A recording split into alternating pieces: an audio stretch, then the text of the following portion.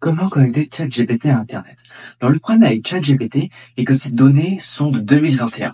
La méthode que je vais vous présenter dans cette vidéo va permettre à ChatGPT de se connecter à Internet et de considérablement augmenter ses performances. Alors, grâce à cette extension, ChatGPT connecté à Internet n'a presque plus aucun défaut. Alors likez la vidéo, n'oubliez pas de vous abonner et on commence maintenant. Pour aller dans, pour avoir ChatGPT qui soit connecté à Internet, il suffit d'aller dans les extensions de Chrome. Là, on va juste mettre extension. Ensuite, donc on va dans le Chrome Web Store. Et ensuite, on va taper Web Chat. Ah, voilà, c'est le web, Chat GPT. donc c'est celui-là. Donc là, c'était le troisième quand vous le tapez. C'est Web Chat GPT, Chat GPT avec accès à Internet. Là, vous mettez ajouter à Google Chrome. Là, vous ajoutez à l'extension, vous appelez l'extension. Bon, donc là, c'est presque fini. Et après, en fait, ce que vous allez faire, c'est que là, vous allez ouvrir ChatGPT. Donc là, ça l'ouvre, ça directement avec le compte que j'avais déjà mis sur cet ordinateur. Et là, voilà. Donc là, comme vous pouvez le voir, ici, il y a, euh, Web Access qui vient être ajouté et One Click Prompt qui vient aussi d'être ajouté. Et là, on peut voir que l'interface, elle est complètement différente. Donc là, toute cette interface, toute celle-là, elle nous intéresse pas, elle nous intéresse pas.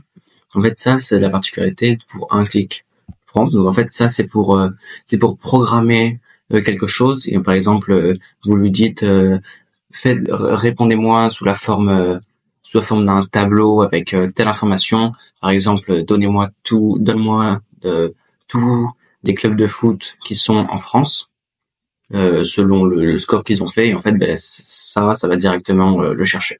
Donc là, ça, ça nous intéresse pas. Mais le, ce qui nous intéresse, en fait, c'est d'avoir écrit là Web Access. En fait, là, c'est juste ChatGPT qui va euh, qui va se connecter à Internet, qui va décider. Donc avant de lui poser une question, là, vous voyez qu'il a écrit Quick Search. En fait, qu'est-ce que ça veut dire? En fait, c'est soit vous pouvez aller dans Quick Search, c'est-à-dire que ChatGPT va tout simplement chercher euh, une de, des réponses le plus vite possible, alors que Copilot, là, on sélectionne Copilot. Donc là, pour avoir Copilot, il faut s'enregistrer. Et pour Copilot, en fait, c'est pour euh, qu'il a cherché des, informations plus précises, et du coup, que c'est pour des questions plus complexes, et donc par contre, ça va prendre un peu plus de temps. Mais donc, euh, mais d'avoir Quick Search, c'est c'est amplement suffisant. Ensuite, ici, là, vous pouvez sélectionner le, la langue. Euh, là, si vous avez créé un prompt, vous pouvez le mettre. Euh, donc, c'est ce que vous avez fait si vous prenez, euh, si vous, vous enregistrez. Vous pouvez aussi sélectionner la région et aussi euh, là le temps. Vous pouvez aussi lui demander d'utiliser combien de résultats vous voulez qu'il utilise pour vos réponses. Donc là, c'est 6, mais je peux très bien lui en mettre euh, 3. Sauf que pour régler toutes ces, tout ça, il faut euh, s'enregistrer. Donc on perd, euh, là vous pouvez utiliser euh, selon le moteur de recherche, donc ça peut être Google, euh, Brave, Brave, Wahoo, Yahoo, Bing et voilà. Donc là on va lui poser une question. on va lui poser une question. Par exemple, on va, on va lui demander où se trouve où vont se dérouler les JO 2024. Sachant que normalement, euh, les informations qu'il a sont de 2021. Enfin là, elles ont été améliorées à 2022. Maintenant, il a accès à 2022, mais normalement, il devrait pas savoir ça. Donc là, et forcément, là, en fait, ce qui se passe, c'est qu'il est obligé d'aller chercher les sites et ensuite d'aller les de, de tirer l'information. Donc là, vous voyez bien que c'est c'est quoi c'est différent parce que c'est connecté à internet. Là il nous dit donc ben, que c'est que ça aura bien lieu à Paris. Donc voilà. Donc euh, c'est donc et dans aussi dans d'autres lieux. Donc là il nous met tout dans toutes les nous met les régions tout ça. Et à la fin il utilise les sources euh, qu'il a utilisées. Donc là moi je trouve que c'est très bien qu'il ait des sources. Comme ça vous pouvez aller voir par vous-même aussi. Mais c'est surtout que là il vous met directement euh, l'essentiel de tout le savoir, mais ça prend un peu plus de temps. Et voilà. Mais en fait, ce que je vous conseille, c'est que Si vous voulez euh, écrire quelque chose, vous voulez rédiger un texte, euh, écrire un email, faire quelque chose, je vous conseille de décocher euh, l'accès Internet parce que ça ne vous servira à rien. C'est-à-dire en fait, quand vous le mettez, c'est-à-dire qu'il va chercher sur Internet, alors que pour des choses d'écriture, pour écrire, pour tout ça, il, n'aura pas besoin car parce qu'il a assez de connaissances. Donc là, on, est, on va, on se trouve sur la deuxième extension de ChatGPT où on va pouvoir connecter ChatGPT à mail. En fait, ce que vous allez faire, c'est que vous allez taper dans la barre euh, de recherche pour des, extensions, donc ChatGPT Writer, et ensuite vous allez mettre ajouter à Google Chrome. Donc là, vous ajoutez l'extension. Voilà. Et ensuite, là, vous recevez un message et il vous dit qu'est-ce que vous allez pouvoir, qu'est-ce que ChatGPT Writer va pouvoir, il va vous apporter. Donc là, en fait, qu'est-ce qu'il va faire? Il va, bon, j'ai pour vous. Donc là, il va pouvoir écrire des emails et des messages il va pouvoir corriger les, les erreurs de grammaire, il va pouvoir aussi rephraser et aussi d'autres ajustements. Il va pouvoir aussi résumer euh, en quelques en quelques secondes. Ce sera sous cette forme. Voilà. Donc là, on passe directement sur la boîte mail, d'accord? Donc on va vouloir euh, rédiger un, mail. Donc là, on n'a pas d'idée.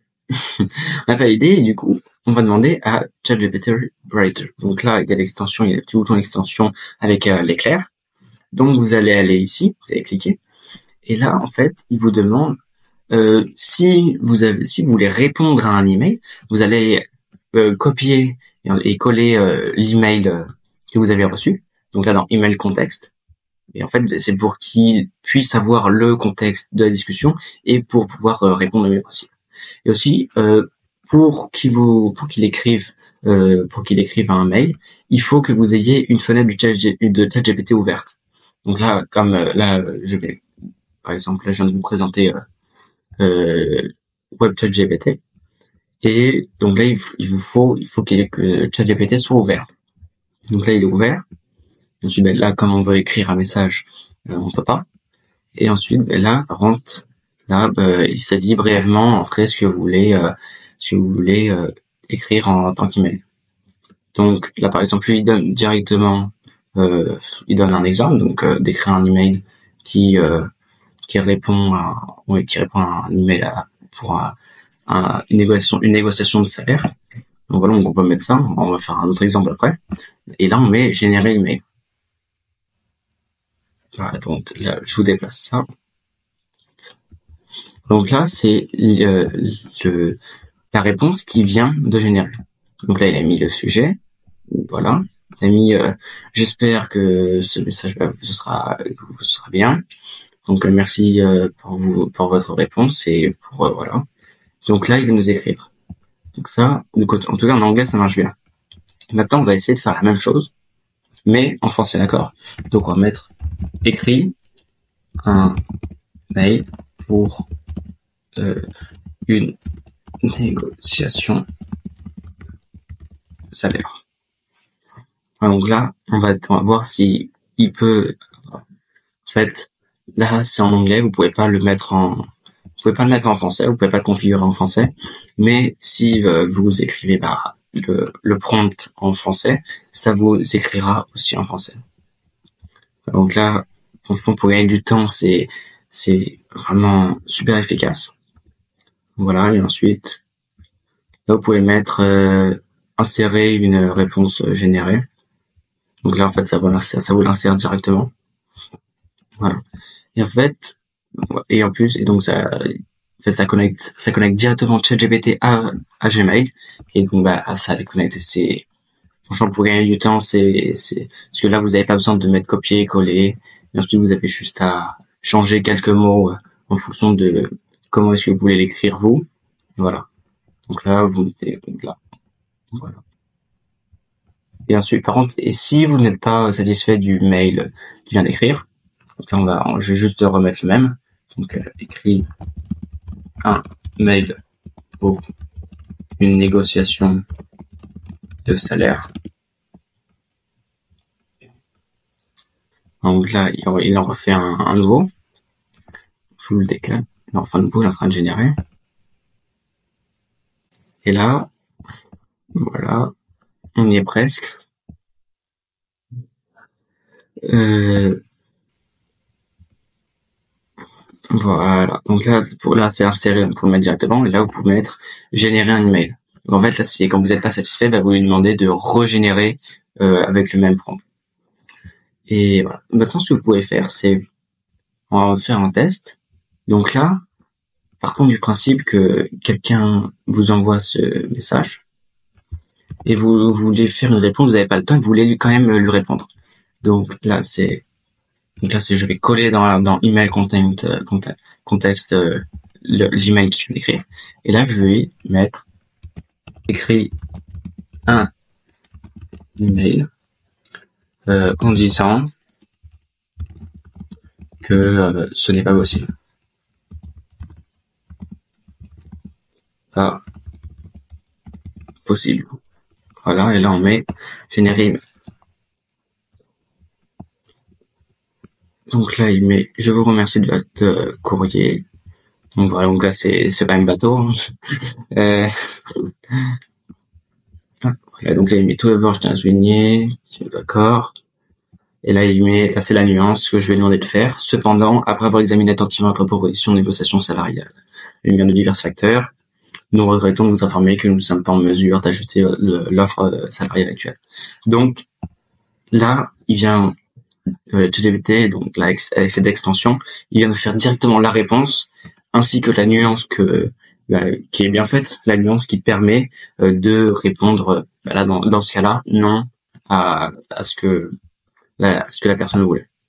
Donc, voilà. Là quand vous avez ça aussi, bah après vous mettez vous mettez soit euh, inséré là, ça se voit pas parce que ça, il est grand, mais voilà donc là vous mettez soit inséré, soit générer un autre. Et là, ça mettra dans, dans le mail que vous êtes en train d'écrire. Voilà, donc merci à tous ceux qui sont restés jusqu'à la fin de la vidéo. Donc j'espère que ces extensions que je vous ai présentées dans cette vidéo vous seront utiles et vous permettront d'être plus productifs dans les tâches que vous allez faire. Donc n'hésitez pas de commenter euh, si vous allez utiliser ces extensions. Et n'oubliez pas non plus de liker la vidéo, de vous abonner et d'activer la cloche. Et on se retrouve pour une prochaine vidéo.